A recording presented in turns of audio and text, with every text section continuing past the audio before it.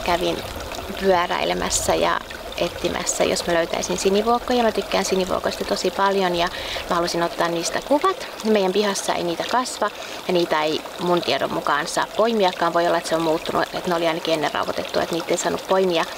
Niin otin niistä sitten kuvia ja löysinkin onneksi niitä. Aina ei, en ei löydy, mutta nyt löysin ja niitä oli kyllä ihan todella paljon. että siinä oli ihan siellä täällä joka puolella, se oli semmoista hakkualuetta, niin siellä näkyy paljon siniä valkovuokkoja. Ja tänään on ihanan lämmin päivä, siis täällä on 20 astetta lämmintä. Ja mä löysin tämmöisen ihanan puron kiinni. Jäin tähän tähäksi aika istuskelemaan. Ihanan kirkasta vettä.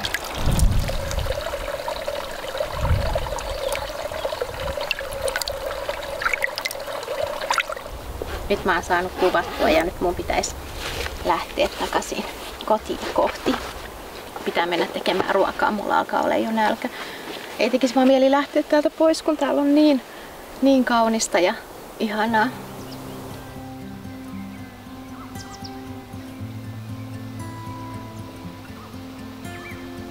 Ota kukka pois.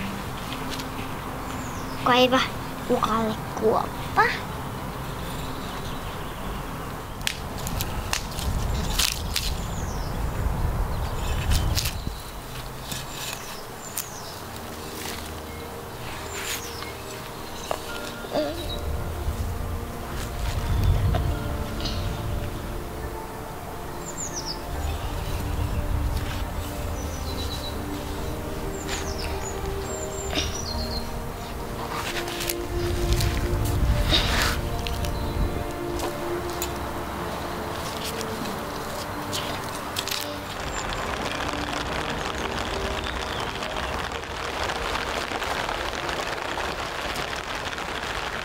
Meillä sataa vettä kaatamalla ja mä tulin hakemaan vähän raparperia. Mä ajattelin tehdä raparperikiisseliä.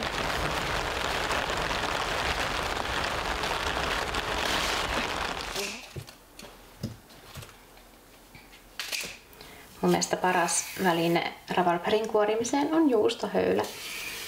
Sillä saa just leveitä ja hyviä siivuja pois. Mä tykkään itse syödä raparperia ihan sellaisenaan, mutta siinä voi olla jotain, mikä ärsyttää vatsaa, että olisi hyvä aina nauttia jonkun vaikka jäätelön kanssa tai jonkun maitotuotteen kanssa raparperia, mutta mulla itselleni ei ole koskaan tullut vatsaoireita, mutta se ei tarkoita, etteikö jollekin muulle tulisi tietenkään, mutta mun vatsa on sietänyt sitä hyvin, vaikka mä syön ihan tollasenaan sitä.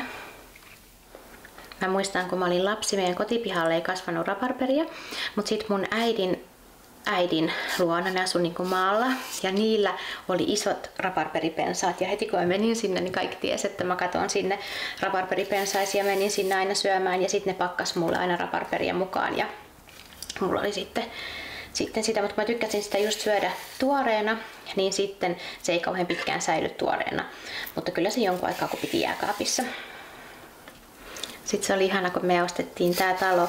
Ja sitten kun me ostettiin se, niin oli talvi. Ja sitten kun tuli kevät ja mä näin, että mulla on raparperin alkuja pihassa, niin se oli ihana yllätys. Ja mulla on paljon raparperia, tulee siis isot pensaat ja ne tuottaa satoa niin kuin tosi varhaisesta keväästä pitkälle sinne kesään, mutta sitten se muuttuu aika puumaiseksi se se raparperin rakenne. Sitten se ei ole enää ainakaan raakana niin hyvä, mutta mehussa se on sitten vielä ihan, ihan hyvää.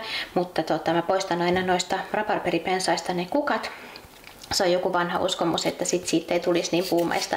En mä kauheasti ole huomannut, onko sillä oikeasti niin vaikutusta, koska olen joskus jättänytkin ne, enkä mä huomannut siinä kauheasti mitä eroa.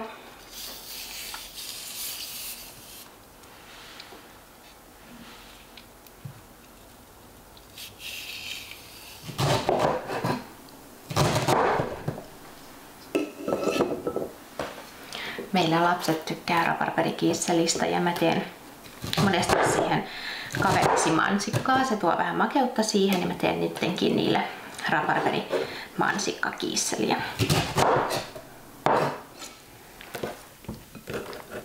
Näin alkukeväästä nämä on kyllä tosi mehukkaita ja hyviä. Oho, yksi tippui tuonne.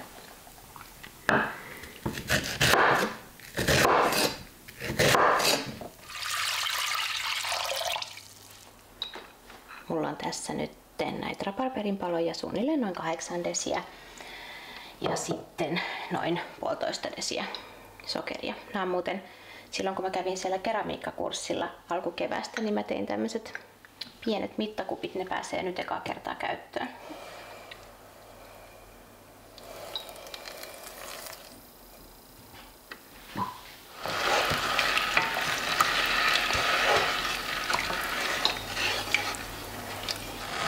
Mä lisään nämä raparperit tonne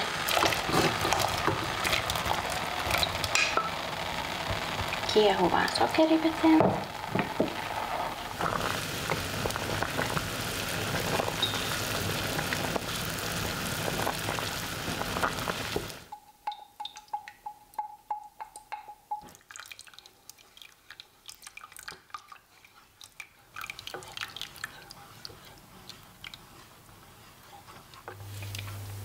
Nyt mä otan, että siihen pintaan nousee yksi tai kaksi kuplaa ja sitten mä nostan sen pois tästä levyltä.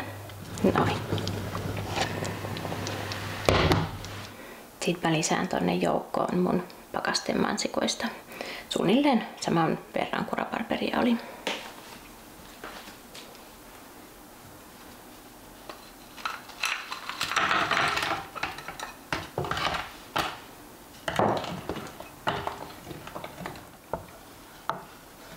ne mansikat saa pehmetä siellä kuumassa raparperikiisselin seassa, niin ne pehmenee ja sitten kun se on jäähtynyt, niin sit voidaan syödä.